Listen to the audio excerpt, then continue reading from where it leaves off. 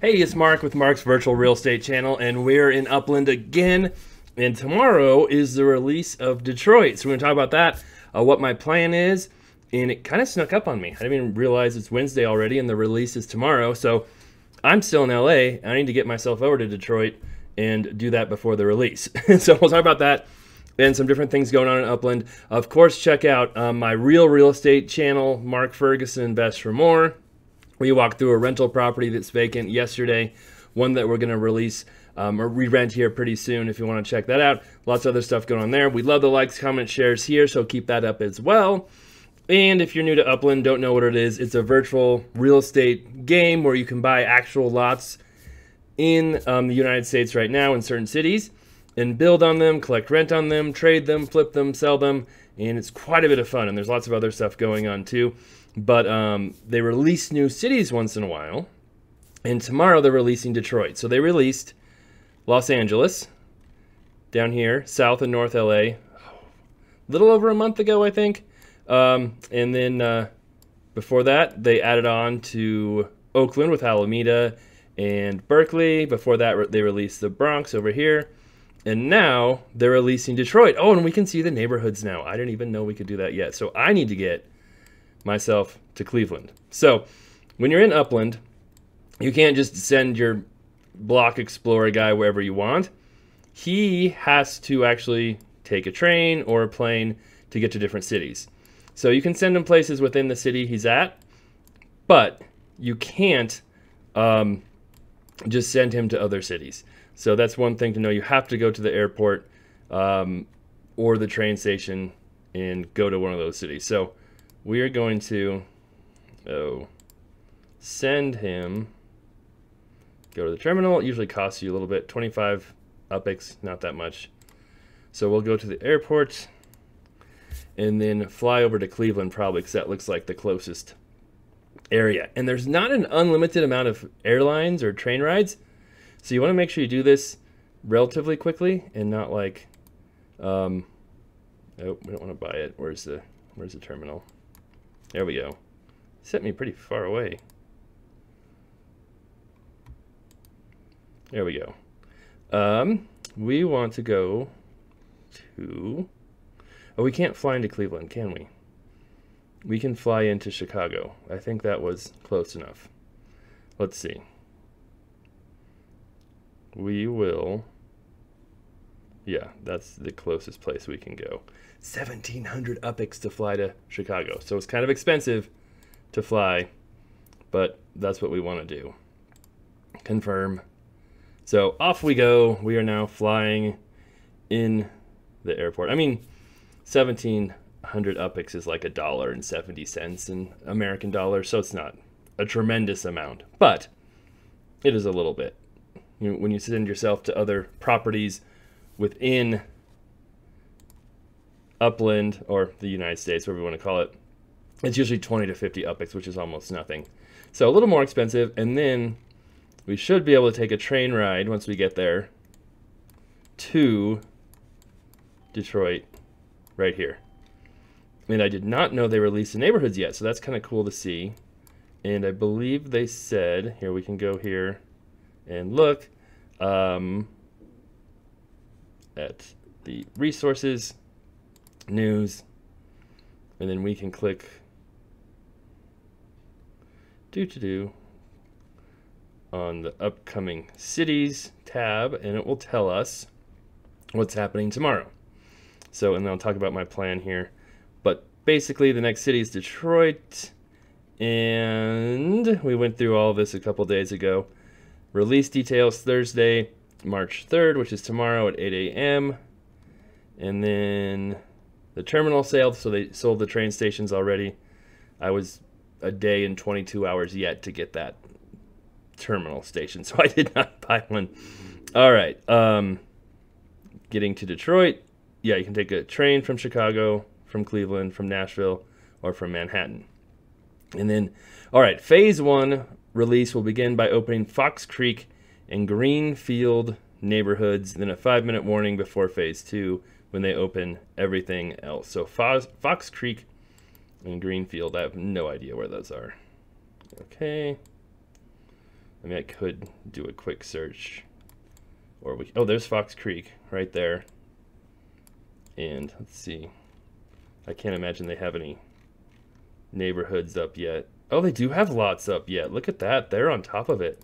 So we can see all the FSAs. So how big are 34? We won't know the prices until the neighborhood is opened up. But you can see all those FSAs. So there's a lot, a lot, a lot, holy cow, of FSAs. And that's what they said. So that's cool. FSA is a fair start um, program.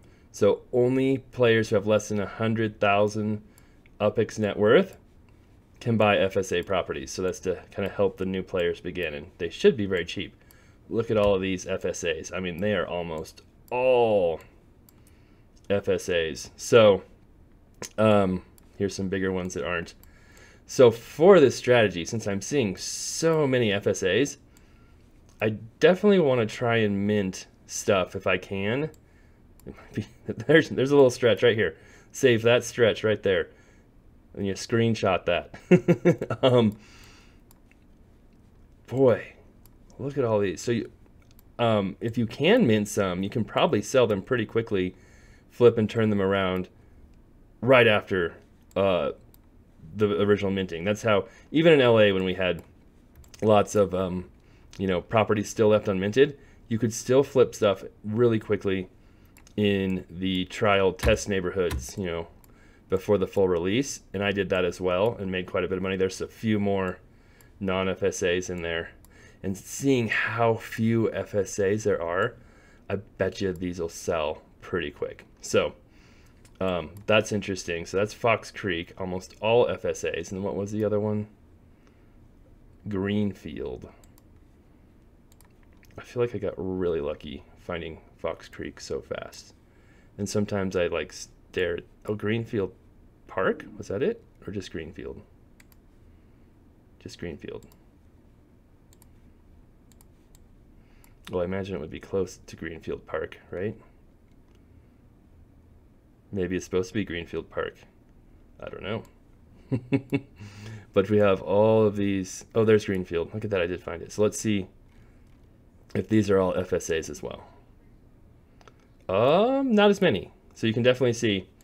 So there is less here. So that's kind of a strategy. It sounds like they're doing both of those at once. So what's your strategy? Do you want to go where there's a lot less FSA properties and you might be able to flip them easier? Or do you want to go over here where there's more, you have a better chance of getting some, try and flip those. So those are a couple options. And then one thing I want to look at, my weekly Food King ad I look at because sometimes I get good deals there from my own store. um, where is 8 Mile? Obviously that's the big thing everybody's talking about. So um, it's right up there, the 102. And then we'll try and see if we can, there it is. So it's right here up there.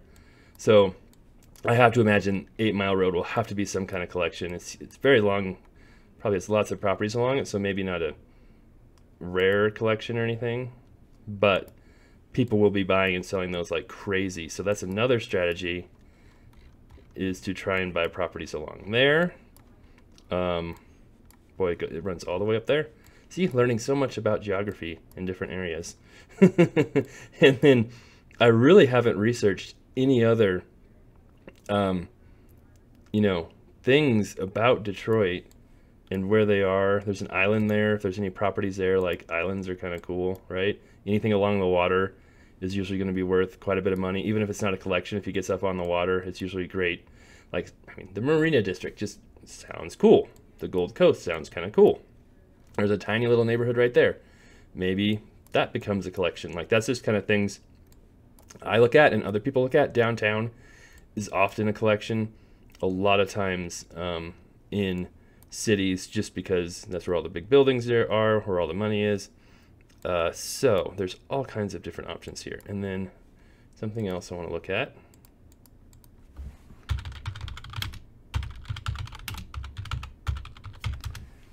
Where's the Detroit football stadium? Ford Field. There it is. Let's see if I can find that. Is that it right there?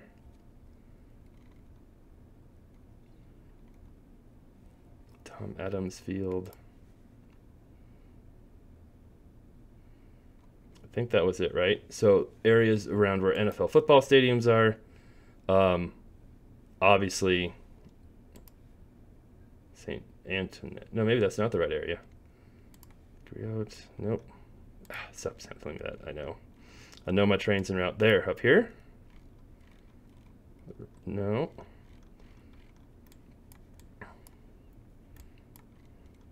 Let's get a, a look here, and we'll zoom out here. Oh, okay. Over here. it's always kind of tricky figuring out where stuff is because the maps. Let's get rid of that. Okay, was it right? Looked kind of like.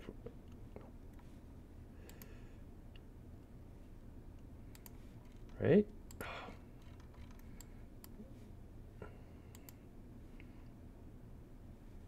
Oh, am I too far? That's the problem. It's down here, I think. Right in this area. Yep, there it is. Okay. So that's where the stadium's going to be. So then if we put, that's downtown.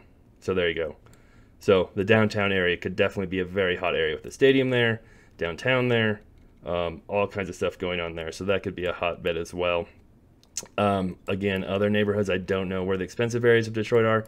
Sometimes I'll pull a map and be like, hey, what's the most expensive zip code in certain areas? And that can give you kind of an idea of where to buy to um, or just buying the absolute cheapest minted properties you can find in a city is not a bad strategy either. So there's all kinds of different things you can do um, when trying to buy in a new city. And I have 378,000 UPIX, which isn't a ton. It's a little bit.